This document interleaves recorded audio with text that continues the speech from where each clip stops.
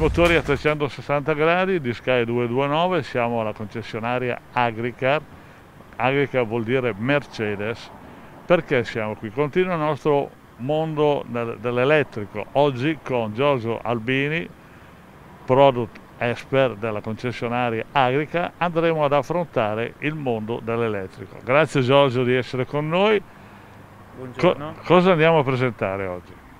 Oggi presentiamo la nuova Mercedes EQA eh, nella versione 250 perché si chiama EQA? Perché è il primo sport utility eh, compatto di Mercedes che condivide eh, i tratti salienti, eh, quindi estetici, sia per quello che riguarda l'estetica sia per quello che riguarda le dimensioni con eh, GLA. EQA 250 è disponibile nelle versioni 300 e 350, personalizzabili in 6 allestimenti diversi. Quella che andremo a provare oggi è una EQA nell'allestimento Sport Plus. L'allestimento intermedio è già ben accessoriato e comprende fari a LED, telecamera, sensori di parcheggio anteriori e posteriori, navigatore e doppio display da 10 pollici. Il frontale si chiama Black Panel ed è un elemento distintivo delle vetture elettriche con la stella della Mercedes posta al centro. Ecco, una domanda che mi viene spontanea, visto che alle nostre spalle ci sono le famose colonnine che chi compra una vettura deve anche ricaricarla. Esattamente. Cosa deve fare? Che colonnine sono e che tipologie di ricarica ci sono?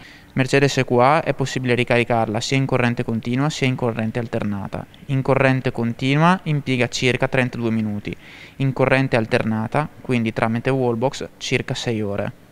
Andiamo a provare questo prodotto Mercedes all'interno della città di Brescia e vedere quali sono le sue caratteristiche e come si comporta nel traffico normale cittadino. Andiamo!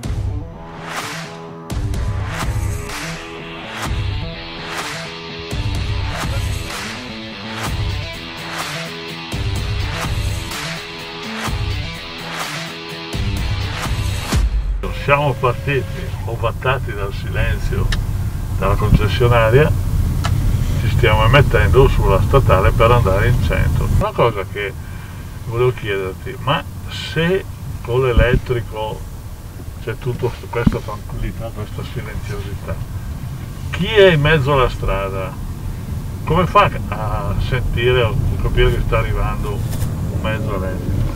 Perché col termico il rumore c'è, con l'elettrico il rumore non c'è. Ehm, questa domanda è, un, è, quella che mi fanno generalmente un po' tutti i clienti, nel senso che eh, naturalmente, come hai detto tu, essendo una vettura totalmente elettrica e priva del, del classico motore a combustione, durante la marcia non, la vettura non, non fa rumore. Ecco. Per questa ragione, durante le manovre di parcheggio, quindi nel momento in cui il conducente all'interno dell'abitacolo inserisce la retromarcia, la vettura emette un segnale acustico continuo per avvisare eh, gli altri utenti della strada che la vettura si trova in fase di manovra. Ecco, un'altra cosa che balza subito all'occhio, il cruscotto. Tutto è a portata di mano, non devi distogliere l'attenzione dalla strada, ma con touch puoi fare dal navigatore alla Assolutamente sì, su questa vettura come per tutte le nostre mm, vetture della gamma, è installato il nuovo sistema multimediale di Mercedes MBUX che offre appunto questa configurazione con il doppio monitor da 10 pollici. Quello centrale è, è touch, per cui è comandabile direttamente dallo schermo, mentre quello del guidatore, quindi per intenderci dove, dove il, il conducente visualizza la velocità e ehm, la potenza erogata dalla batteria, eh, al contrario no. Bello questo qua, dell'idea di navigatore incorporato dalla parte sinistra del, del guidatore, così sempre per un discorso di attenzione alla... Assolutamente sì, proprio in quest'ottica i due quadranti del, del contachilometri eh, sono personalizzabili, per cui il, ehm, il guidatore ha la possibilità di, di poter scegliere quale tipo di informazione visualizzare all'interno del display che si trova mh, davanti agli occhi. Ecco, rimanendo sempre sul display, come faccio a capire quanti chilometri di autonomia ho ancora guidando senza patemi d'animo di dire oh sta finendo la, la ricarica? Allora, il, mm, il display delle informazioni del conducente offre la possibilità di vedere la percentuale di ricarica della batteria e l'autonomia che viene calcolata sulla base dello stile di guida e del percorso che io in quel momento sto percorrendo. Inoltre grazie al sistema Mercedes-Benz Intelligent Drive tramite il navigatore la vettura mi dà la possibilità di poter programmare una sosta sulla base della presenza di una colonnina di ricarica per poter appunto fermarmi e ricaricare la vettura. La vettura che stiamo provando è una EQA 250 che ha una potenza di 140 kW che equivalgono a 190 cavalli con un'autonomia che varia dai 400 ai 426 km.